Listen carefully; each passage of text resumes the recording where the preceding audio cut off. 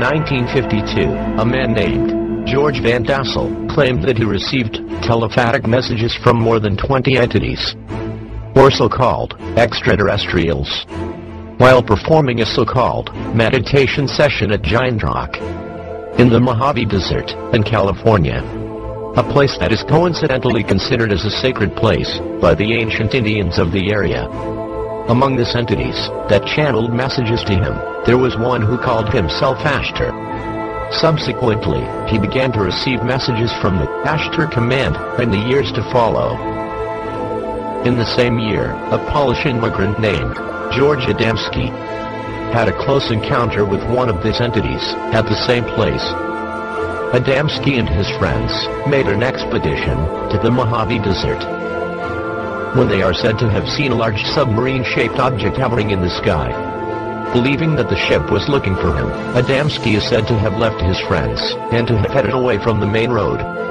Shortly afterwards, according to Adamski's accounts, a scout ship made of a type of translucent metal landed close to him, and its pilot, a Venusian called Orthon, disembarked and sought him out. This events were the catalyst that started a wave of so-called channelings. Channeling is a method of contact with this so-called extraterrestrials.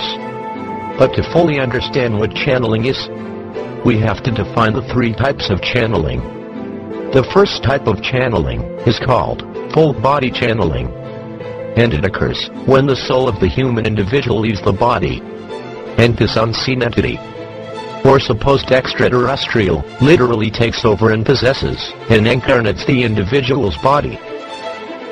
This is very similar, if not identical, to what we commonly know as demonic possession in the New Age circles and UFO literature.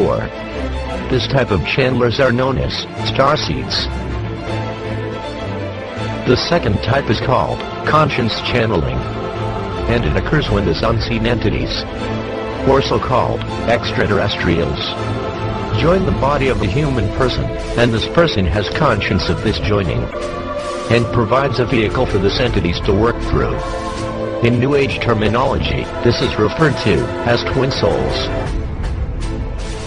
The third type, it's called trance channeling, and it occurs when a human individual enters a trance-like state so they are not conscious of this entity coming in and utilizing their body, speaking directly through it. George Van Tassel coined the term channeling to distinguish this form of communication from the one used by spirit mediums. But as we were able to see, the so-called channeling of extraterrestrials, contact with the so-called spirits of the dead, through seances, and other ways of spiritism, and demonic possession, where a demonic entity takes over the body of the person who is being possessed, are very similar, if not the same. In all of the cases, we have these unknown entities who possess people, take over their bodies, give them messages, and sometimes even write books through them. Could these be the same entities working here? The Bible, and the book of Judges, tells us the following.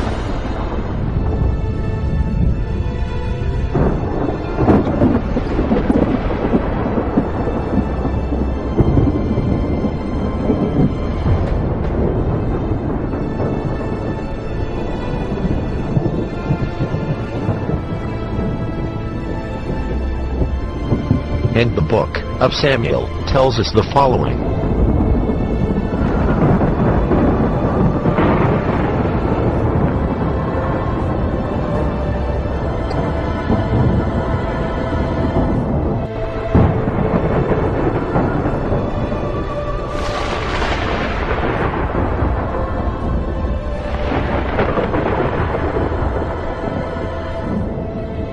As we just saw, the Bible talks about many Old Testament false deities, Ashtoreth being one among them, who were known as the host of heaven, fallen angels that deceived men and were being worshipped as gods.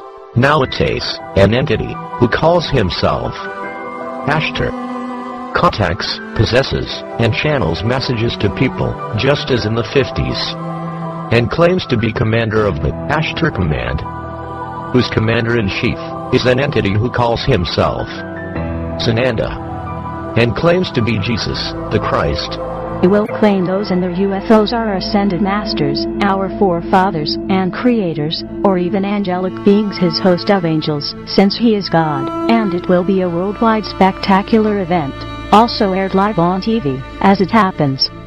Imagine the panic of the millions of church pew Christians who expected to be raptured off the earth before that spectacle ever came. And instead of seeking Yahweh as to what is going on, they will head back to the same churches who have deceived them over the ages and expect to find answers. The scary thing is, the beast's prophets are already in place. They're leading our biggest denominations and churches, and they will not give the people the truth of what is going on, but in collusion with Satan will verify that this person, who came in the clouds with their UFOs is indeed Jesus the Messiah. Those following religion have always been confident in the false belief that they will not be deceived because they are the elect. Says who? Define elect. Yes, the elect will not be deceived because they are not in the churches listening to or following man. They have sought Yahweh for the truth, and they were led out of the paganism and lies in the churches. The Lord pulled me out of them years ago, and you will hear the same thing from hundreds, even thousands of others who have sought the Lord for the truth and he has had them leave the churches as well. Deception is not just going to be rampant then, it's everywhere now. Most people will not even know we are in the tribulation period until it hits them smack on the head. The proponents claim the new prosperity programs will be publicly announced after NESARA is announced. Eventually, all people worldwide will have access to these programs. According to NESARA proponents, there has been enough money in the world for the last 30 years that if the money were evenly distributed, every person would be a millionaire. 5% of the world's people control 95% of the world's wealth. NESARA frees up vast amounts of money for worldwide distribution to all the world's people.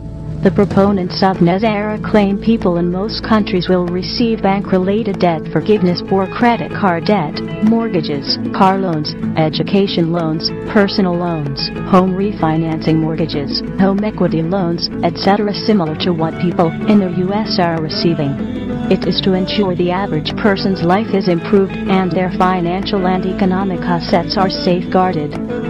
They are ensuring liberty and sovereignty while at the same time taking it away and demanding you conform to their economic model. This is not an offer, NESARA is a demand, a global tyranny about to take over and for those who do not conform they will be subjugated and taken over by those who do.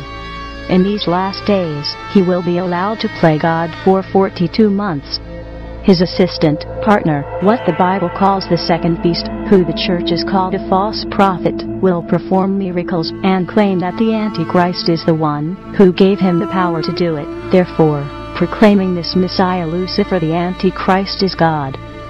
If and when NESARA is announced, it will begin the total dissolving of the Illuminati's worldwide behind the scenes control and domination efforts. In effect, we trade one global tyrant the Illuminati, who are working to bring in their own NWO for another, the Omgans, and their NESARA NWO. The Omgans are Lucifer's armies. When the chip or mark is enforced you have to wonder if people will recognize it for what it is. In Revelation chapter 13 it says by deception the world is deceived. The coming economic policy the Beast Prosperity Program to the Omgans, this law is already on the books, just waiting to be announced. They promote it as an act of peace, yet this has been enforced upon the entire world, regardless of whether they want it or not. It is a global agenda. NESARA is nothing but a money and wealth bribe. And naturally people want to be wealthy, it's enticing. No more bills, a chance to be a millionaire, and they will buy it hook, line, and sinker. If you do not join their program, you cannot buy or sell anything anywhere in the world. You cannot go down to the corner store and buy a loaf of bread unless you join the program and you join this new economic program by getting the global chip that identifies you. They will promote new global technology that resembles smart card technology, where they can put all your information on an implantable chip, and without it, you cannot even continue to function in society. It will replace the need for cash. It will do everything the implantable chips you hear about now are doing, only it will be enforced instead of voluntary. The Apostle John warned us of this in Revelation 13:16. The Omgans are the ones behind NESARA. The leaders are ascended master liar Saint Germain. His supporters refer to him as a saint. I say he isn't. That's the spelling. Saint and ascended master liar Sananda Maitreya. It does not matter which translation you are reading of the Bible. Just know that this mark can be a barcode, a tattoo, or an implantable chip, and just stay away from anything that is required to be put on or in your right hand or forehead, so you can keep functioning. As a buyer and seller in society, this is the beast system that the apostle warned about. When you see it, and it's already here, and coming even more so, in the future to be enforced, then recognize it for what it is. It's a beast system and it's led by a beast. It is all from Satan, and it will enslave you, and entrap your soul into allegiance to him. He deceived millions of angels into a rebellion against the Most High in the early ages, and he is going to use the same tactic of deception in the last days to deceive millions of people to once again join him in a rebellion against the Most High. The players, the two who really run the agenda for NESARA are Saint Germain and Saint Sananda and it will not take you long to discover that we have been led down the river of deception, since we have been born and conditioned into believing what Jesus looks like when it's not him at all. It's this Sananda who is coming portraying and mocking him. These pictures we have seen all our lives as Jesus are nothing more than the coming Sananda. Of course we knew those were really just artist renditions of what Jesus might look like, but to realize it was purposeful conditioning. This is going to not only put many into a panic because they are confused and think he might actually be the real Jesus, and yet anger most of those who know better. It's going to be complete chaos and confusion. Germain and Sananda display supernatural powers. Remember this is the Omgans talking, not Christians. Notice how biblical the lingo sounds. This was excerpted from their prophecies of the coming ascended masters from www.forwinston.com. Oh, the Father will raise up a mighty army of the faithful to deal a mighty blow to the cruel and greedy men of this world. Oh, he will pour out a mighty gift upon his little ones, who will change the world for the betterment of all mankind. Oh, he will encamp a mighty angelic army with swords of fire to protect them. Oh, in those days he will call those children his own gens. Oh, in heaven's perfect timing, oh, our golden age, they refer to the Antichrist as the Father with an angelic army who's coming from heaven. They say peace when there is no peace. Their agenda is peace and prosperity. It all sounds good until you realize you are selling your soul to the devil to save a few bucks. It's just exchanging one global agenda for another. NESARA versus Illuminati with Satan playing both sides. Yes, we would all like everything NESARA promises to give, but on our terms, not theirs, and without mocking the depiction and resemblance of our Lord Jesus Christ, Yahushua, with their Germain and Sananda. How many will be deceived by Sananda uh, when they see him for themselves and realize he looks appearance and sounds terminology just like the Jesus of the Bible? Will they know this is a deception? Our real Heavenly Father is not coming in a swarm of UFOs to announce a new worldwide economic program. The Bible reveals quite an opposite picture of the one the Omgans are going to portray. The second coming of Christ Revelation 19:11 to 16. In Zechariah 4:5c it says, And the Lord my God shall come, and all the saints with thee. Yahushua is not coming in a UFO. No announcement from a space station will be needed to get the world's attention of his arrival and descent. The world will see this huge procession from the skies as they slowly descend to Earth, taking many hours for the whole world to witness this event. Do not be deceived by the impostor that is coming bearing the name of Jesus. He is not the real Jesus. Jesus is not coming to bring peace and prosperity to the world. He is coming to judge and destroy it. The false Messiah coming will declare peace. Do not believe him. He will cause nothing but war, death, and destruction. In fact, this false Messiah will even come against the true believers of the real Jesus Christ. This false Messiah is Satan himself incarnate in man. Do not be deceived. Do not believe his lies.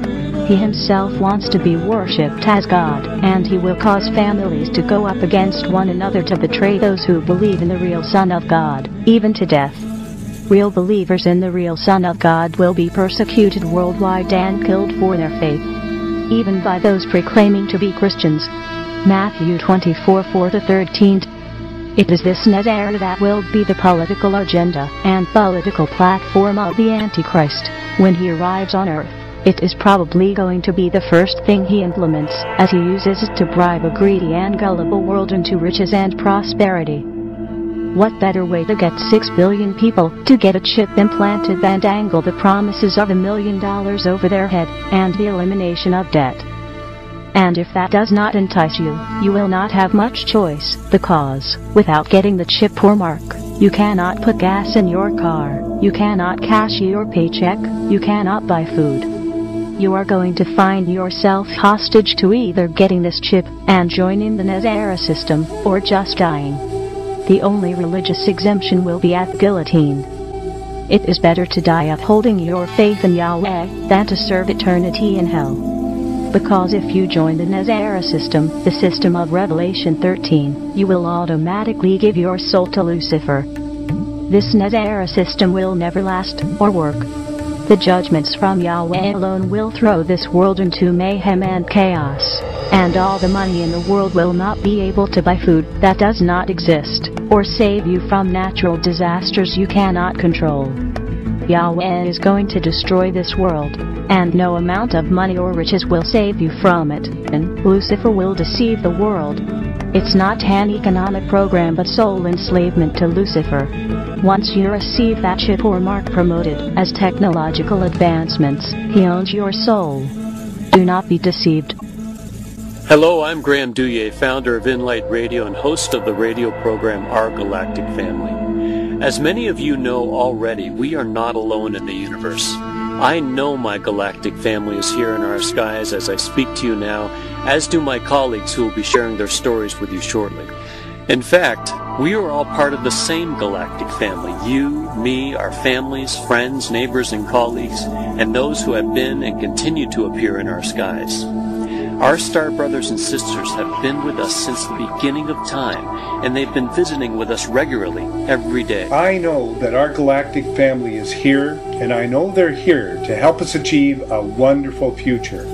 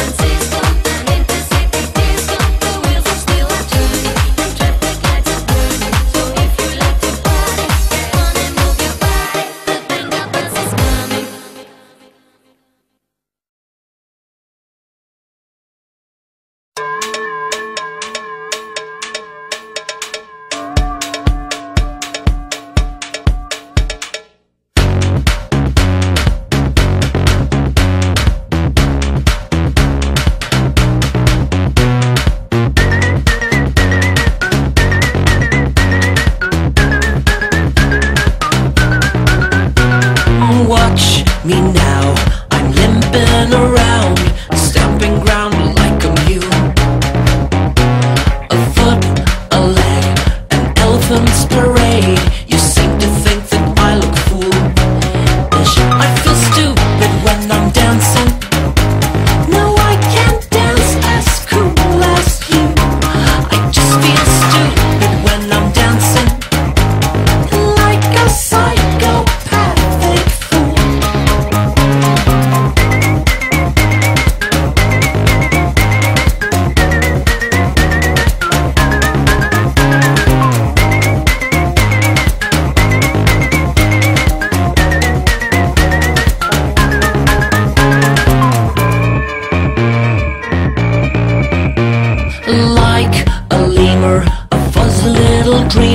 I strut around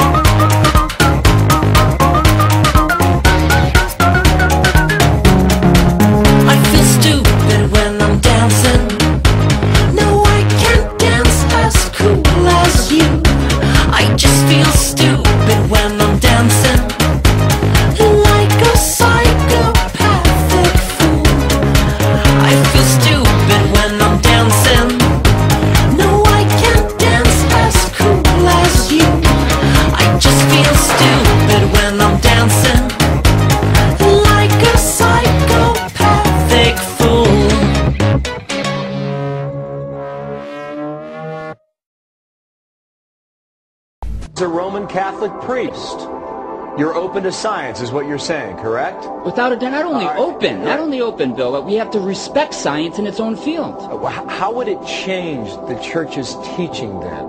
you- if you consider for a moment, if you determine that there is extraterrestrial life there, Well, uh, one thing would be fascinating would be not only extraterrestrial life, but if it were extraterrestrial intelligent life forms.